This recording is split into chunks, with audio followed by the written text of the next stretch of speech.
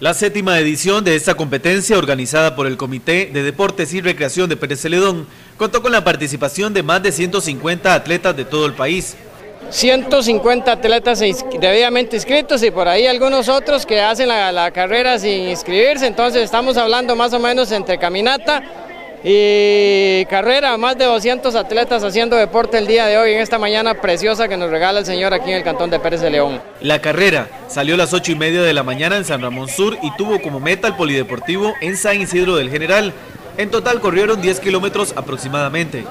Es una carrera en primer lugar muy bien organizada desde sus inicios. Bueno, yo no estuve presente en las primeras eh, tres ediciones, he estado involucrado en la organización en las últimas cuatro competencias, pero esta organización o este éxito se debe desde el inicio de la primera carrera, la número uno, desde ahí viene el éxito que se viene llevando a cabo en esta eh, séptima edición de la carrera patriótica que nació para quedarse y cada día toma más fuerza, más bien. El ganador de la categoría masculina fue Jonathan Varela y en la categoría femenina Marisol Matarrita.